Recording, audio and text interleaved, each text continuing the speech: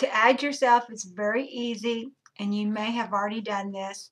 Um, like my username is Cindy, and my user PC or machine name is Cindy-PC. And in this instance, we don't need the PC name, but we might need it later. Uh, but that wouldn't be part of our login, so we wouldn't have to know it to enter it because the program would just put it in for us.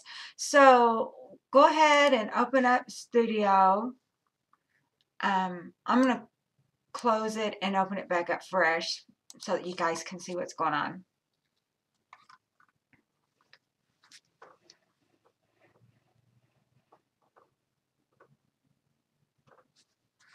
Is it coming up? There it is.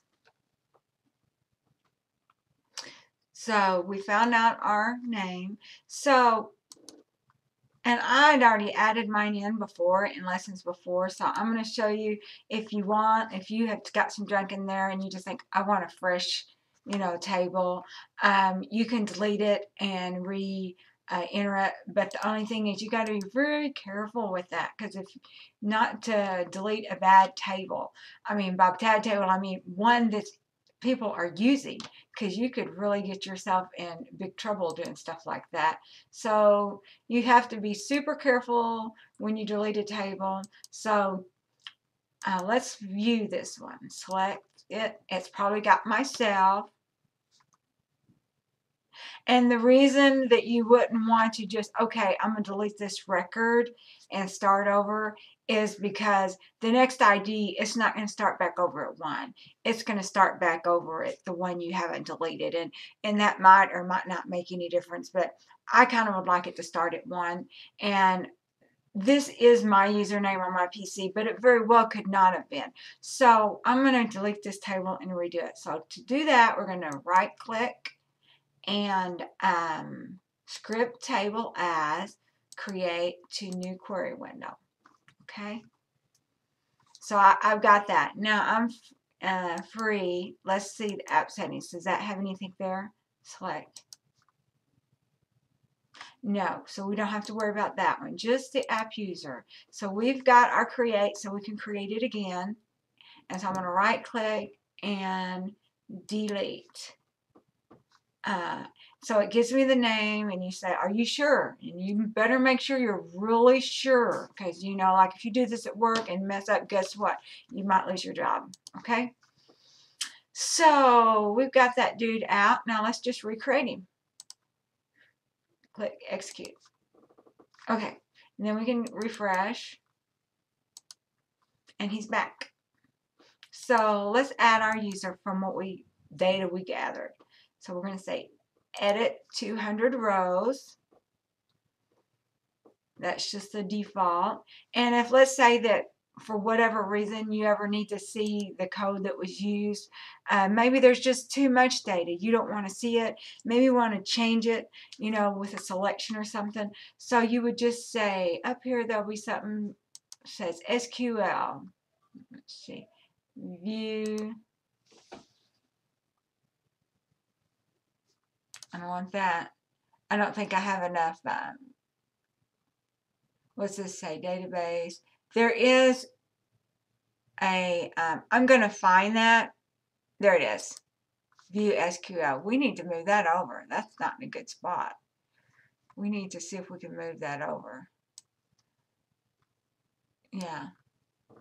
Yeah, I like that better. It You don't have as much space, but like I had to hunt and hunt and hunt to find that. So I would prefer it to be there. Let's see if we can move it down this way. Because those are the main ones I use. Okay, so let's go ahead and add ourselves. I'm going to say Cindy, and remember, that is my name is Cindy, but yours is going to be whatever yours is. I'm going to say Cindy.